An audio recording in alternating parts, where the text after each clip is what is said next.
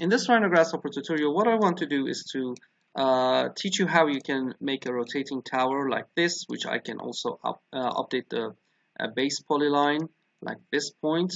As I just move it, it's going to update the tower. Uh, we can change or increase or decrease the number of the uh, repeating steps or decrease it. If you want to decrease it, you have to double click this.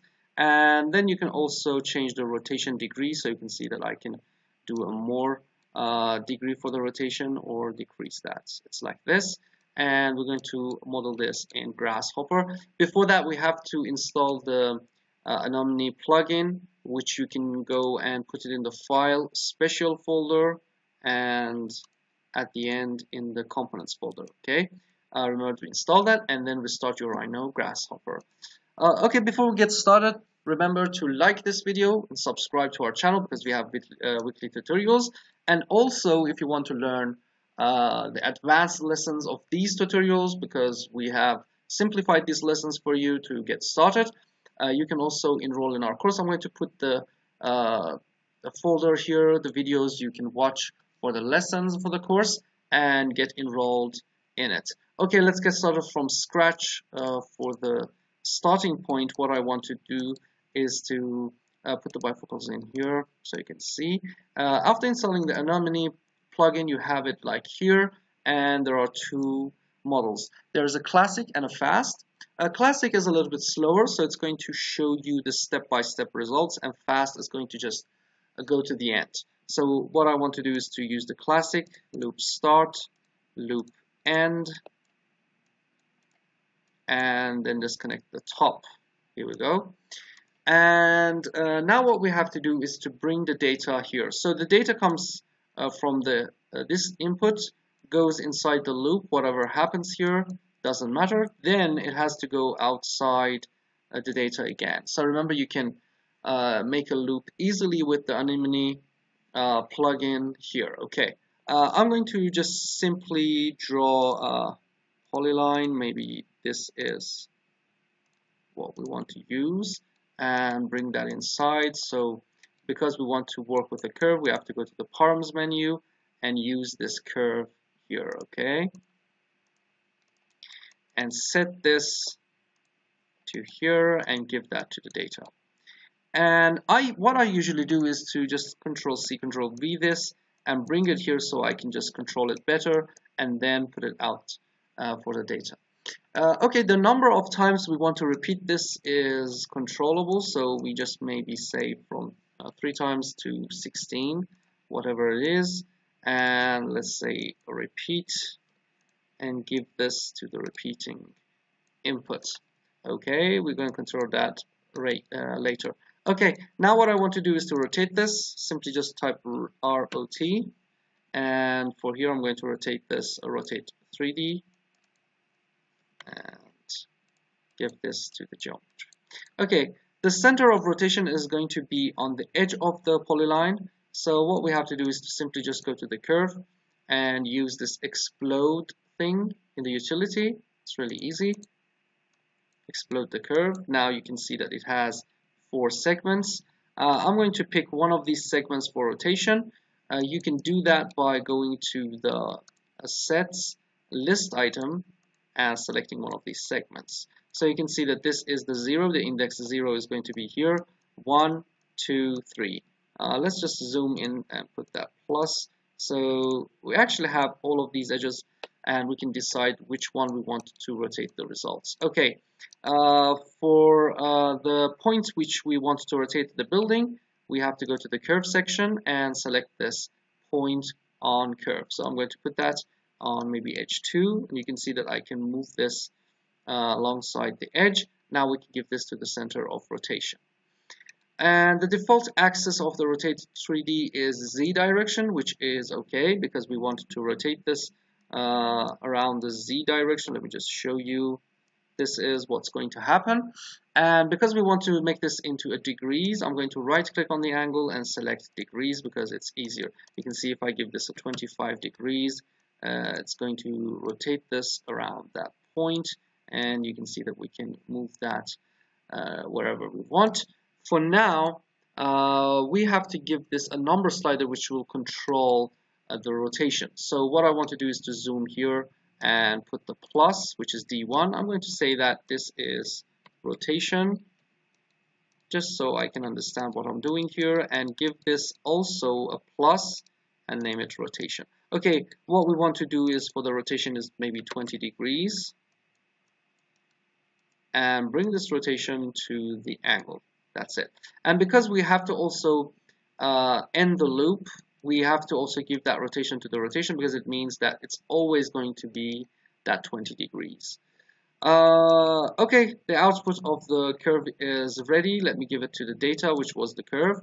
And you can see that I can increase the steps, but I can't see, if I double click this, it's going to run. But I can't see the uh, previous steps, so I'm going to go here at the end, a right click and select the record data. So I'm going to just record this data and double click on this so you can see the results. Okay, that is really cool. Uh, we have the curves. So that was how you can do it. If you change the location, you have to double click this to run it. Uh, and then you can also change the degrees. You can see the results while I'm playing with this. Okay, so this is how it's going to work. It's really easy. What we want to do is to finally extrude that up to make it like a building. So first of all, uh, let's just put a curve inside. The first curve was this one and bring it at the end. And with a shift key, I'm going to add all of the other curves we added here. Because uh, the Anemone plugin is going to put that into groups with zeros, I'm going to flatten this so everything is going to be like into one groups. And if you don't know about flatten and graft, again, I'm going to put the tutorial about flatten and graft here so you can understand. So let's just flatten this so everything goes into one group. That's it. Let's just connect a surface from the params menu to make it into a surface. And now extrusion. So I'm going to extrude that in the Z direction.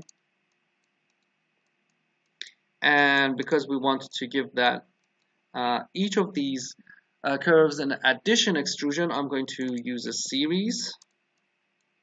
Okay. Uh, the starting of this is going to be the height of each of those uh, levels of the building maybe we need. So I'm going to just put uh, like 12.5 to the start. This is going to be the start of the building.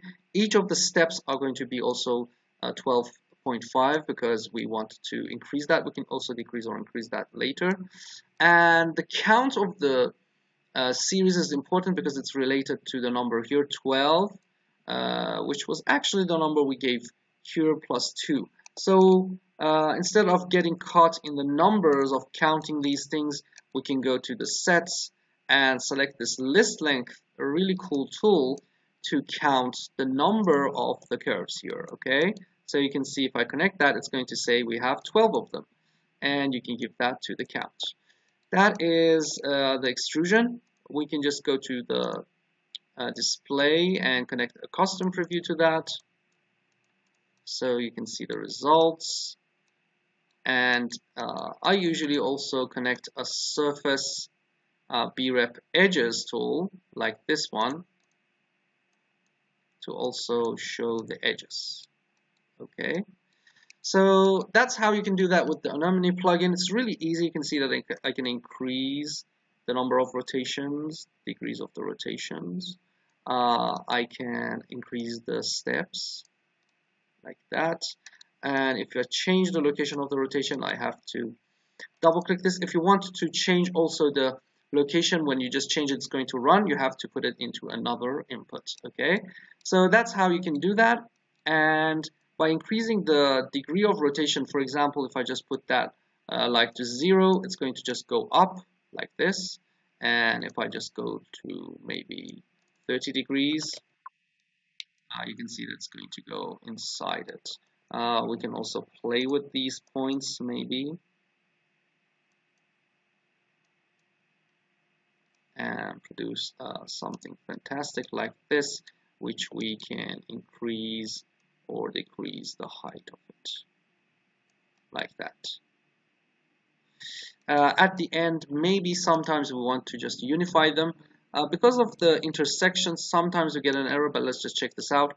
Intersection and like using this tool which is called solid union if we can unite all of them together, which will give us the results. If I bake it,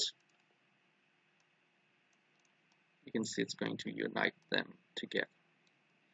Okay, so that was the I usually turn that off because it's going to slow your slow down your process. Just change things uh, and check out the results. And when you are okay with that, then turn on that uh, solid union thing. Okay, and then we can also change the location to zero and double click this, so it's going to be on the edge of it and it's really beautiful. We can play with these edges to produce different results like that. Okay.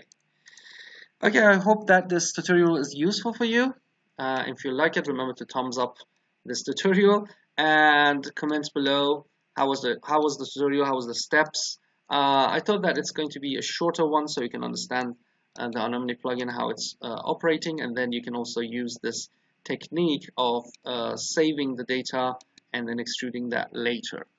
Okay, and if you want to also learn more advanced about this lesson, this particular lesson, uh, I'm going to put up another tutorial which I will add too many, uh, add more inputs, maybe scaling, uh, maybe changing the location and those things. Uh, so if you want to also learn that, just try to uh, check out the course lessons. We're going to put that down inside the course lessons. And uh, thanks for watching. See you next time.